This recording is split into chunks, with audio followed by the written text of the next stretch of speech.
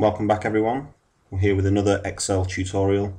Uh, again, this relates to macros, but this specifically relates to when you're using data validation uh, in macro code. Uh, again, we're going to use an example where we've inserted a new row. Um, some people have, again, put uh, questions about how this is done on uh, the channel, so it's just in response to some of those. We can see in our example here that attribute 4 has data validation, and we can see that because it's a drop-down menu. If I try to type anything into this cell that wasn't approved, it would just give me an error. Okay, that's what essentially what data validation is. You can only put certain values into this cell. The data validation in this example is being pulled from these four cells here. So in attribute 4, you could only put one of these four values, and you can see this if I press on the down arrow, you can see that those are the only options that I have to insert into this specific cell. So if you want to insert a new row in this case, and you want to keep those data validation uh, properties, but for the cell that's going to be above it, how do we do this? So I'm just going to show you this working in an example. So just to show you how that works, you can see that I can select my attribute there. If I press my macro, you can see that in the new cell that's been created, I get the same data validation options. How to do this? So it's actually only a minor tweak on um, some of the old code that if you've watched some of the old videos, we've gone over.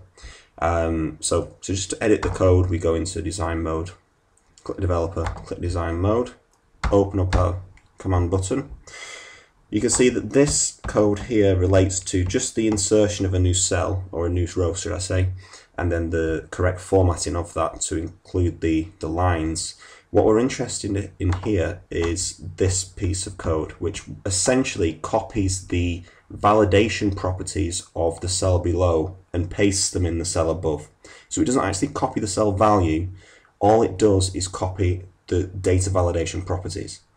So in our example here, sheet, sheet 1 is the sheet that I'm working on, range E5 dot copy, so E5 is here.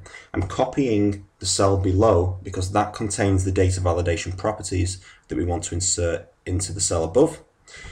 We then, sheets, uh, sheet 1, we select that, range E4 is the cell is the cell essentially where we want to apply the new data validation properties to.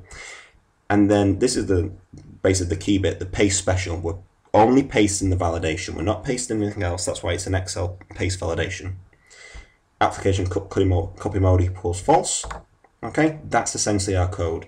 If you are going to do this in your own workbooks, again, you will have to tailor some of these uh, values uh, for your own personal needs, i.e. by changing um, if the sheet is called something else, you need to change the sheet value if the range is obviously a different range, which it most likely will be, you'll have to edit those properties as well.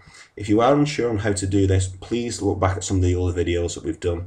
Uh, we do go over exactly uh, how to do this in a more simpler uh, format, just so you get up to speed with these kind of things. Again, I'll make this uh, available on the website, so I'll pop this up now. Uh, so you can download this as a workbook, uh, just so you can see how this works in real time, and you may even be able to edit this workbook to be able to fit into your own needs.